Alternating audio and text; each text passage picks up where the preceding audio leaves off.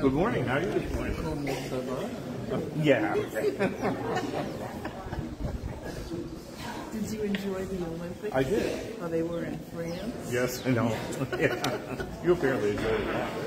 Oh, yeah. yeah, yeah. French is so French. It's so yes, it is.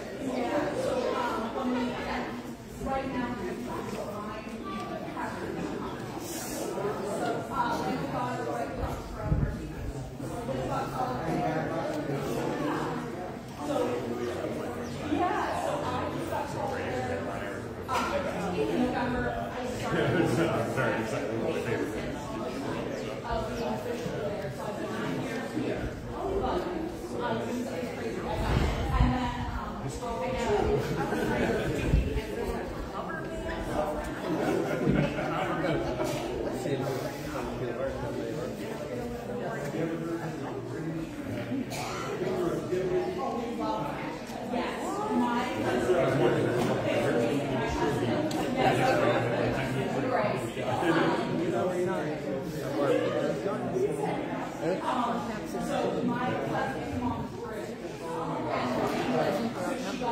do. I want to.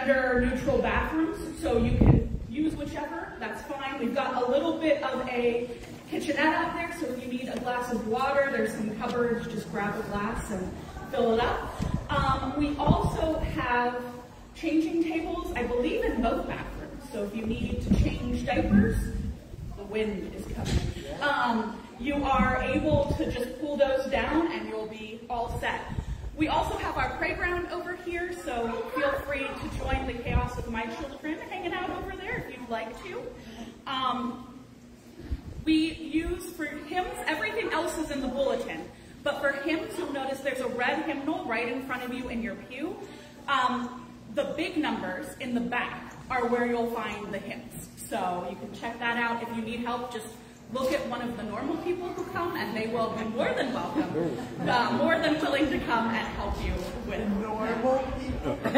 but, well, I was going to say, are we really a normal congregation? the usual the attendees of Mount Calvary. I won't claim we're normal. We're just going to go with that. So, um, so feel free to ask around, and we'll be more than willing to help you. For communion, all are welcome to come and receive communion. If you'd like a blessing, you can come up and cross your arms. That's fine as well, whatever you're comfortable with. Um, what you'll do is we normally start with this side, and we'll have ushers who will help with telling you what to do. But you can, you'll come up, grab a small glass from there, and you'll line up on the altar rail. You can either kneel or stand, whichever is more comfortable for you. And once you're done receiving communion, you'll circle back by the side aisles and you'll notice that on either side there are these handy dandy empty cup holders. You can just put your cup there and then head back into your pews.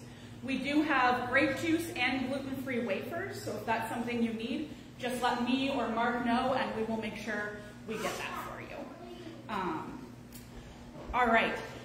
Thank you to everyone who gave for Erie Gives this week. Um, we received $2,300 before we actually find out the amount that were um, added in from the foundation. So thank you all for giving. This was our first year trying it out and we really appreciate it. So you'll be hearing more about that in the newsletter and bulletins, but thank you. We really, really appreciate it. We also, because school is starting very soon, um, sorry to all the teachers who are emotionally preparing for that, um, we're going to have blessing of the backpacks next week. And we also will be blessing teachers and others who work in the school. So bring backpacks if you're a kiddo. We'll make sure we do a blessing for, for the school year. Also, the fall means that we're starting up our fall schedule. So Adult Sunday School is going to begin on September 8th at 6, um, not 6.30 in the morning, just kidding, 8.30. No one is here at 6.30. Uh, 8.30 in the morning. We're also going to have kids Sunday school. I think we're leaning towards the first and the third Sundays. We're still figuring it out. If you aren't part of that conversation and would like to be, I know we have Elena and Carrie and Irene and um, Lisa and Maurice and I are in that conversation um, about planning that out. If you feel like you should be a part of that conversation, feel free to let me know and we'll make sure we keep you up to date. So, but we'll, we'll let you know the plans as soon as we have them. For Mount Calvary Council, we are meeting with Lamb of God's Council this Tuesday. Uh-oh. You're standing. Oh, is everything? I didn't mean to call you out. I thought you had like a really important announcement. Okay, sorry. Um, um, we're meeting with Lamb of God on Tuesday at 6 o'clock here. So Lamb of God's Council's coming over. We're doing some, we're picking Christmas Eve times and all of that. So um, please plan to make it for council so we can plan all of that out. And is Dean not here today? I was going to embarrass him. If you see Dean, he turns 82 today, and if he comes in late, we're just going to stop and sing to him. So I'm sure he'd love it. But um, he might be avoiding coming today just because he knows I will sing to him. Um, are there any other announcements before we begin today? All right. If not, we'll begin with our prelude.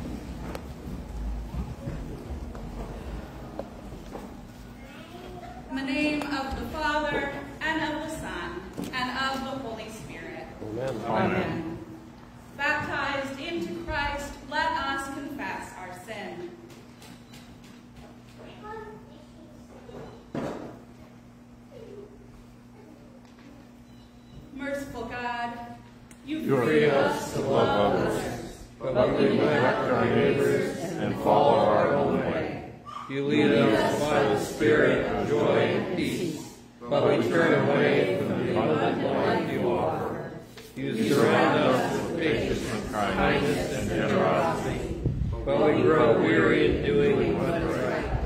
In your mercy, forgive us. Do not give up on us. Heal us, break our bonds, and show us the path of life. Amen. Amen. You belong to Christ Jesus, and you are God's children through faith. In the cross of Christ and through the power of the Holy Spirit, your sins are forgiven. Clothed with Christ, you are a new creation.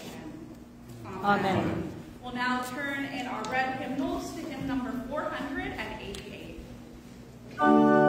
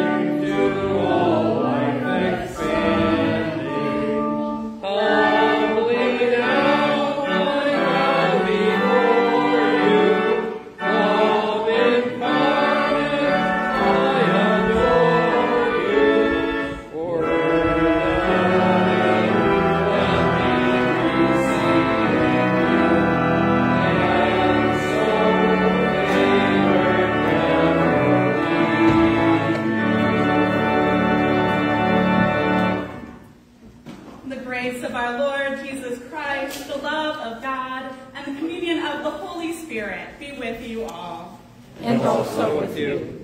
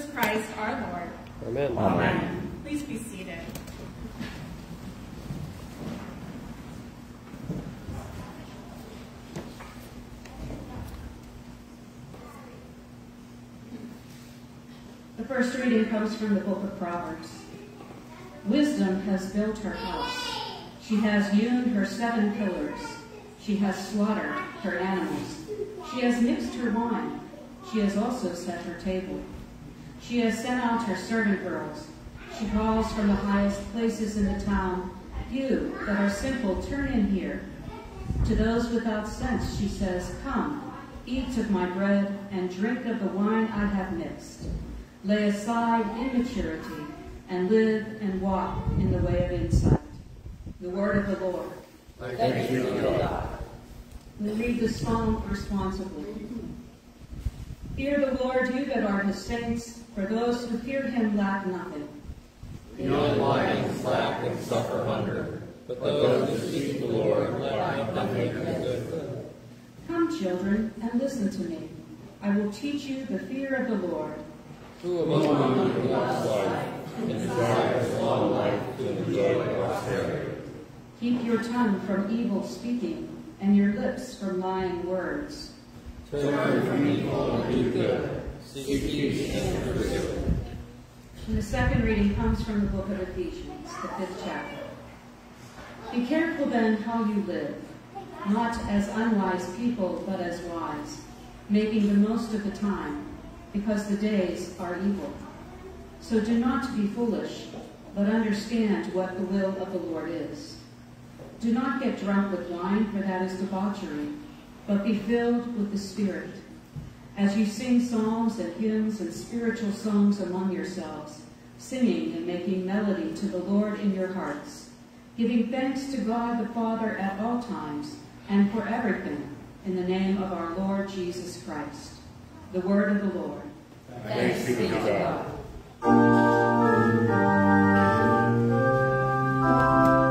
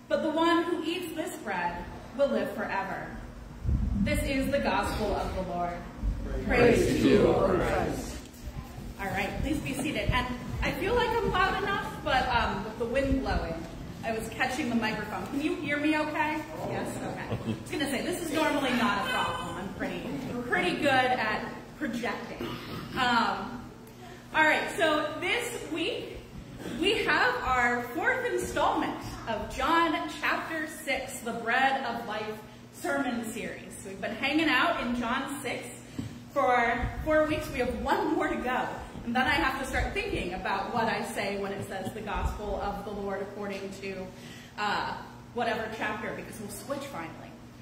Now, in this passage, uh, it's a very interesting part, and I think we can actually begin to understand why some of the criticism of the early church called Christians cannibals. Because if you read this passage, it gets a little bit uncomfortable. Eat Jesus' blood, drink his blood. And we may say, oh, maybe it's just translated wrong. Maybe it's eat his body, drink his blood. I don't know how you translate that differently. But no, it's actually the word for flesh in Greek. There's another word for body. So that was one of the main criticisms of Christians back in the day. Now, we may not think about this when we do communion each week, but in some ways that is what we say and confess, that the bread and wine are both bread and wine and body and blood of Jesus. And so this week we hear Jesus giving this discourse, and we can see the discomfort in those who are hearing it.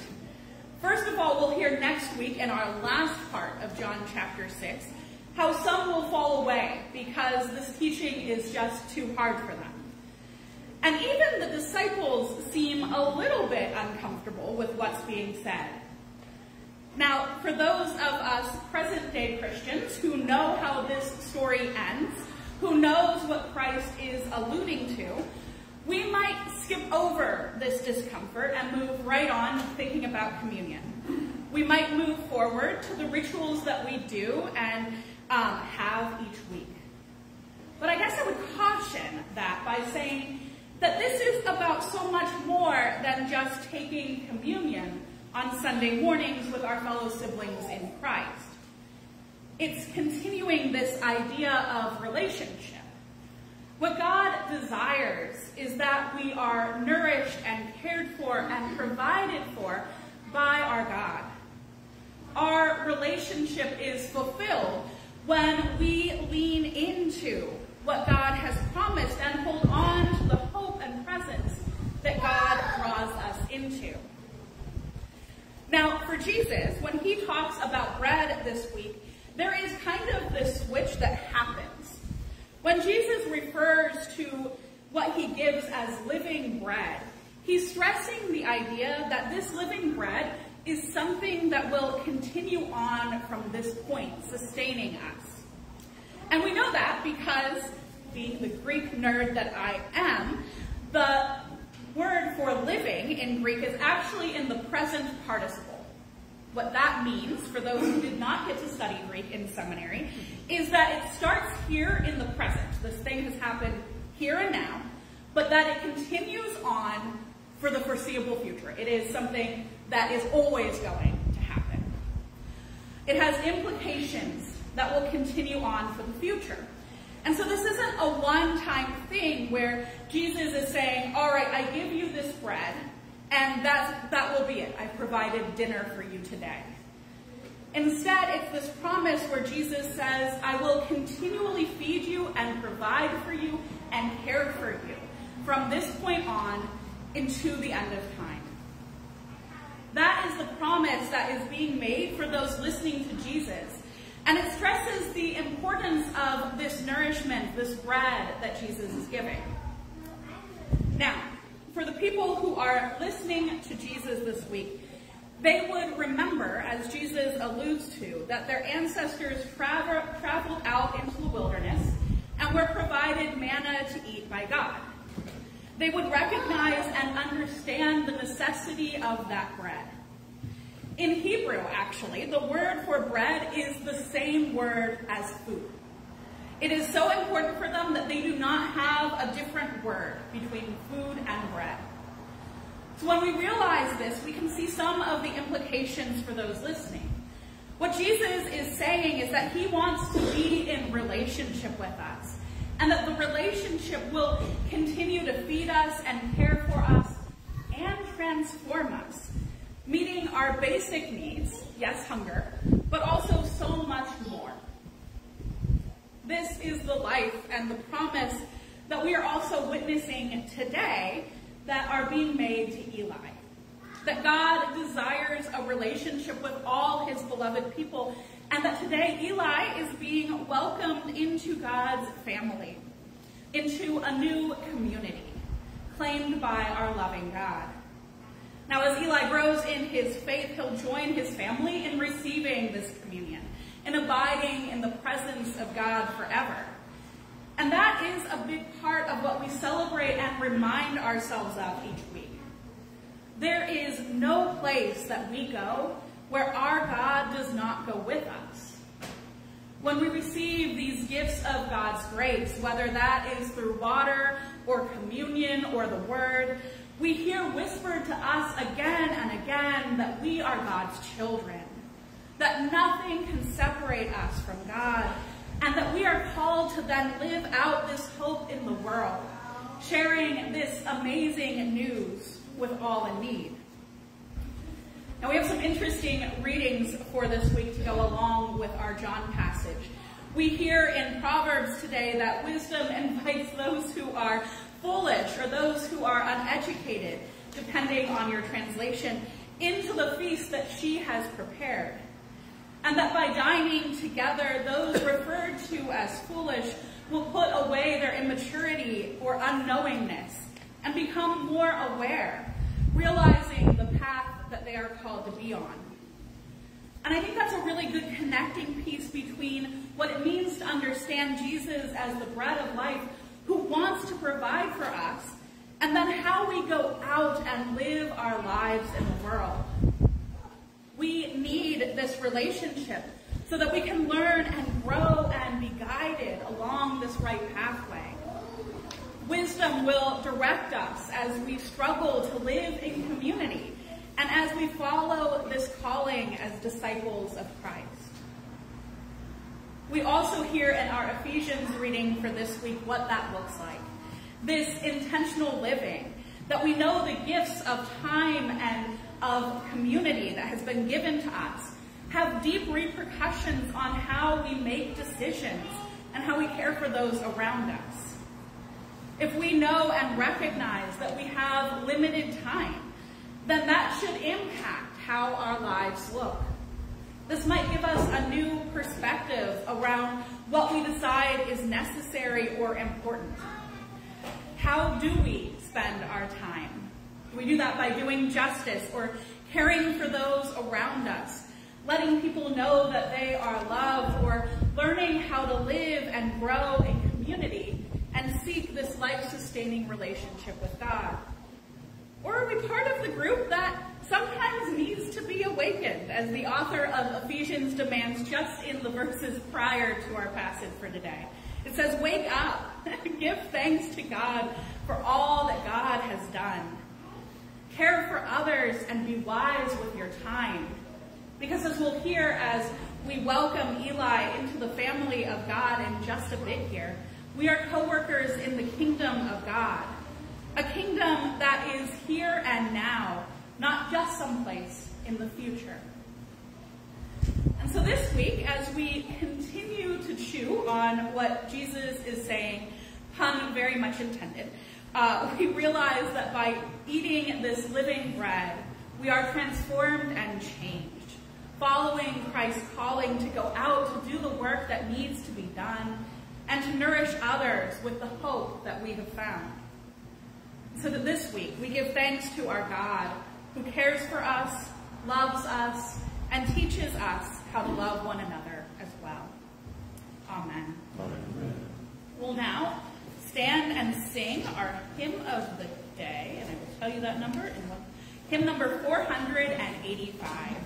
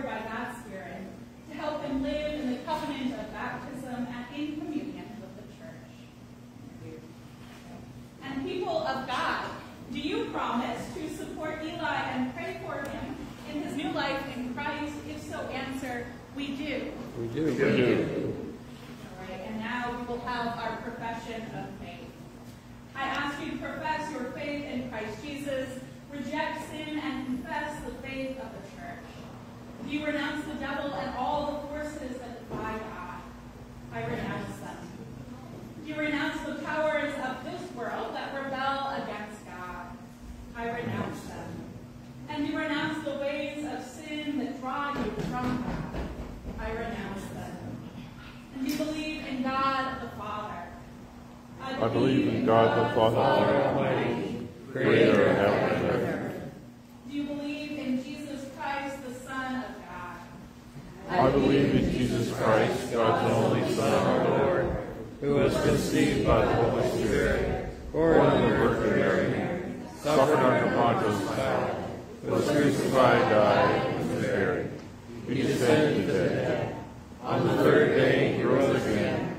He ascended he is seated at the right hand of the Father, and he will come to judge the living and the dead. Do you believe in God, the Holy Spirit? I believe in the Holy Spirit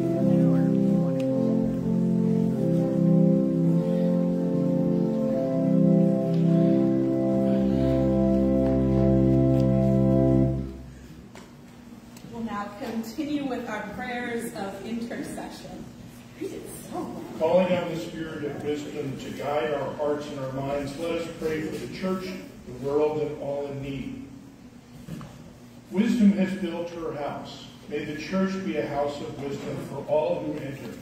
May we continue to grow and stretch in ways we never thought possible. Merciful God, Receive our prayer. Wisdom has mixed her wine. May the harvest seasons be plentiful this year. We pray for orchards, vineyards, farms, and all of creation. Protect and conserve the earth. Merciful God, Receive our prayer. wisdom has employed her laborers. Be with all who seek adequate employment. Guide our economic and governmental leaders to support the people of our world with fair wages and safe working conditions. Merciful God, Receive our prayer. Wisdom has invited her guests. Make your presence known to all who feel lost, abandoned, or hurting at this time. Direct your spirit of care to all who seek healing and comfort, especially Doreen, Leona, Marge, Mary Jane, Ed, Betty, Sue, Suzanne, Rita, Sandy, Carmen, Carol, Sue, Timothy, Missy, Brett, Karen, Frank, Linda, Charlotte, Mark, Tressa, Mike, Burton, Dane, John, family of Hayden, Ron M., Ron K., Paul, Eric, Berlene, Renee, Kathy, Bill, Ken, Norma Jean, Karen H., Jean, Madison, Diogenes, the McCardle family, Noah, Chris, and the Gano family. Merciful God, Receive our prayer. Wisdom has set her table. May this congregation be wel- a welcome table to all who seek the refuge of God. Break down walls and barriers that prevent us from offering a seat at this table to anyone who comes. Merciful God, Receive our prayer. Wisdom has shown her path of insight. May we journey on her paths looking forward toward, toward a bright future while remembering from where we have come. We give our thanks to those who have gone before us. Merciful God, Receive our prayer. Holy God, we lift up former President Trump, Vice President Harris, Senator Vance, and Governor Walz, as well as those who seek public office. Keep them safe give them your wisdom and guidance during this season. We also pray for our country as we discern your calling during this election. Bring an end to division. Help us to see each other as the beloved children that we are, and calm our anxiety or fear that we are feeling as we anticipate this election. Help us to show your love in the midst of disagreement or conflict. Merciful God, Receive our prayer. We also pray this day for Eli, who has been baptized, and all those who are walking along this path with our God. Bless him and his family and sponsors as they continue to guide him along this pathway. Uh, merciful God, Receive our prayers. We lift up these prayers to you, gracious God. Receive them in your holy keeping. Amen. And now may the peace of the Lord be with you always. And also with you. Please share that peace with one another as you are comfortable. Peace, Peace, Jerry.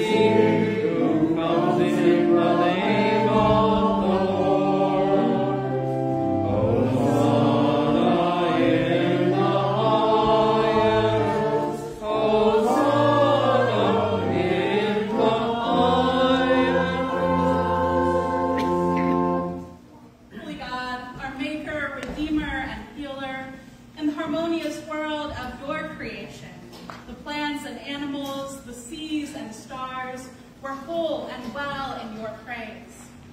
When sin had scarred the world, you sent your Son to heal our ills and to form us again into one.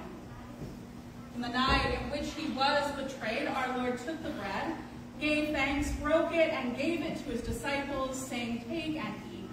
This is my body, given for you. Do this for the remembrance of me. And again, after supper, he took the cup, gave thanks, and gave it for all to drink, saying, This cup is the new covenant in my blood, shed for you and for all people for the forgiveness of sin. Do this for the remembrance of me.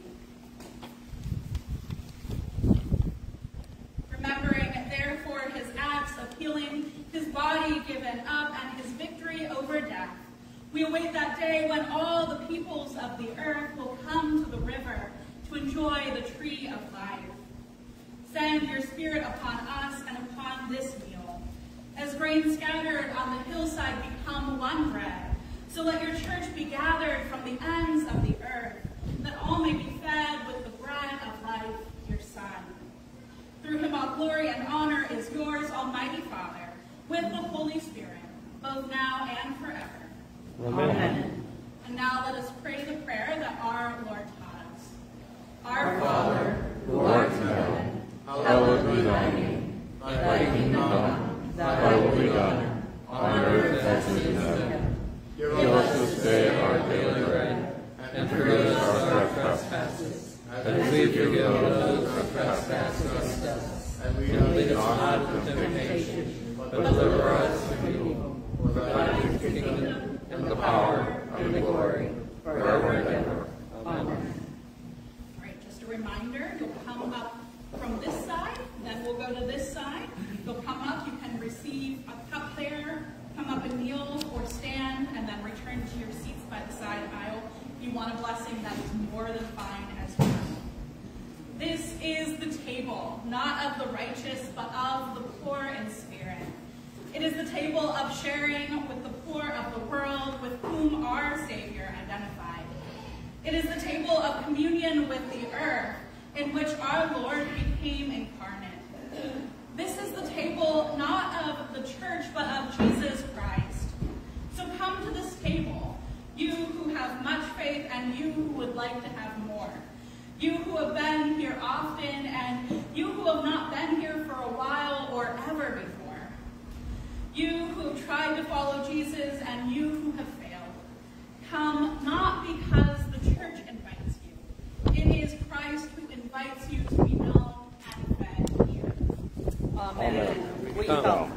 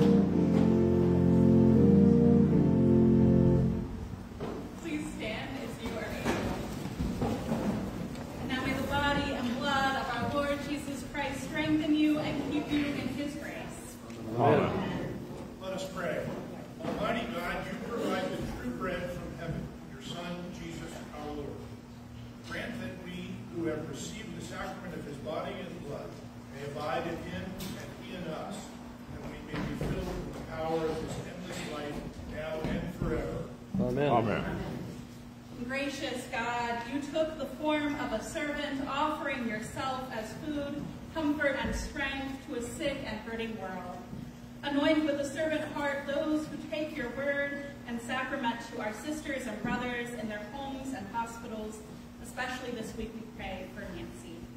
Grant grace, mercy, healing, and hope to those who feast on your body and blood and receive your words of new life. May we all recognize that we have a place and a home in the body of our Lord Jesus. Amen. Amen.